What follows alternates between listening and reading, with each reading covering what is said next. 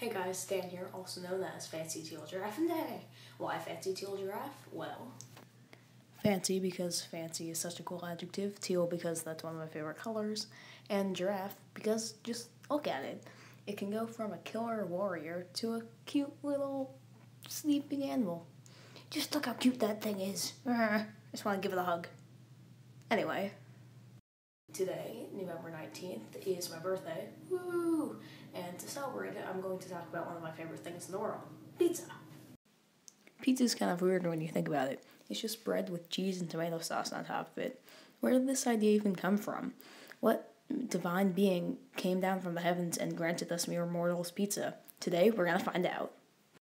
The first ever pizza was invented by the Greeks, Egyptians, and Romans. It was called focaccia. It was just bread with olive oil and spices on top of it. Focaccia is different than pizza in a couple ways. Focaccia's bread is usually thicker, it doesn't have cheese, and it's square rather than circular. The idea of focaccia moved to Italy. It was very popular. It was easy to make and eat. The Italians added their own ingredients like cheese, anchovies, tomatoes, and garlic. In the late 1800s, King Umberto and Queen Margherita I came to Naples to try something new from their usual fare. The chefs of Italy had produced a plethora of pizzas. One of the pizzas they produced had white cheese, red tomatoes, and green basil. The queen liked this pizza very much. It might have had something to do with the fact that the ingredients matched the colors of Italy's flag. As the queen praised the pizza, this started a nationwide craze for pizza. As uh, Italians moved to America, they brought the pizza craze with them cities like New York tried to replicate the pizzas that Italians told them about in America.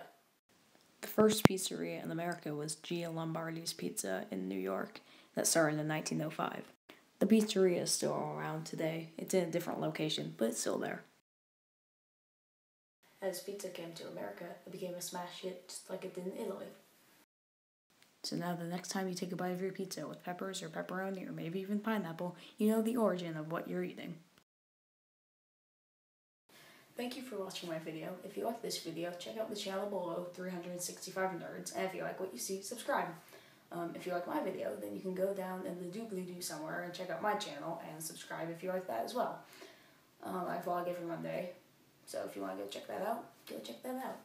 Also, interesting tidbit, there are 42 days left of the year. 42, the answer to life, the universe, and everything. Yeah! So, uh, yeah, that's it pretty much. Don't forget to be awesome.